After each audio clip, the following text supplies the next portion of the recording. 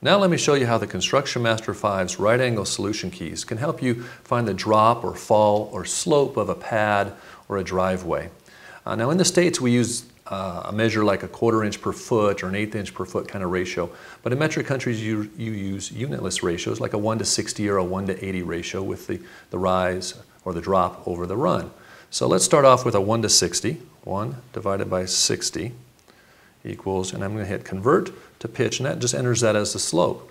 So now I put in the run. So let's say 13 meters is the length of this driveway, and I call that the run.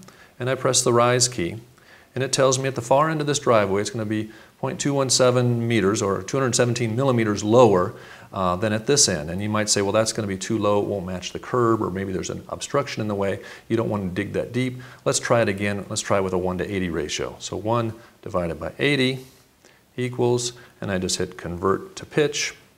The run we entered is still in there, so I'm not going to re-enter it. And then just hit the rise, and that's going to be 163 millimeters lower. And you might say, well, that's going to work out just fine, so we'll leave that. You can also see the uh, percent grade.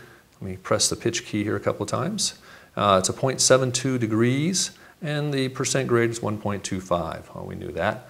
Um, another situation you might use this feature is if you have a, a piece of land, uh, a lot that it slopes and you're wondering will it drain. Say for instance it's uh, 42 meters long, 42 meters, and we'll enter that as a run.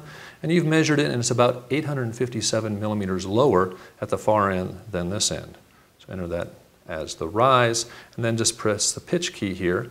I'm going to press it a couple times to get to the degrees, 1.17 degrees and it's about a 2% grade. And you might think that works just fine. If you want to know what the ratio is, you can get back to the slope and just hit the inverse here. Convert over the divide key, it's 1 over x we'll give you. It's a 1 to 49 ratio, so it's a bit steeper than our, our driveway example, and that might just work fine. So that's a quick overview on using the right angle functions for calculating falls or drops. For more details, you can download our user guide at www.calculated.com support.